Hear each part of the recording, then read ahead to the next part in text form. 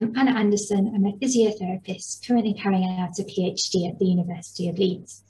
My research involves developing a new website called the Virtual Knee School to help patients prepare for total knee replacement surgery, which could help patients recover better after surgery.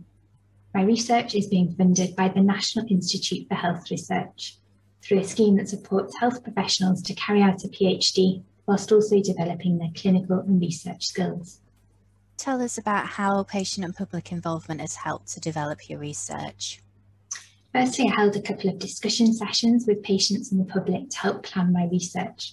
For example, they felt it would be best to develop a website rather than a mobile app so that as many patients as possible can access it.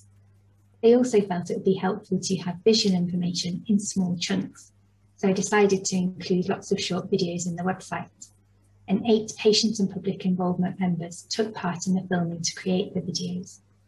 Three patient and public involvement members are also valued members of my project advisory group and help with things like deciding how to progress my research, reviewing participant documents and sharing the research findings. Thank you. And is there anything you'd like to add at all? Just like to thank everyone who's supporting my research, including the Leeds Biomedical Research Centre and especially all the patient and public involvement members, as their input really is making a difference.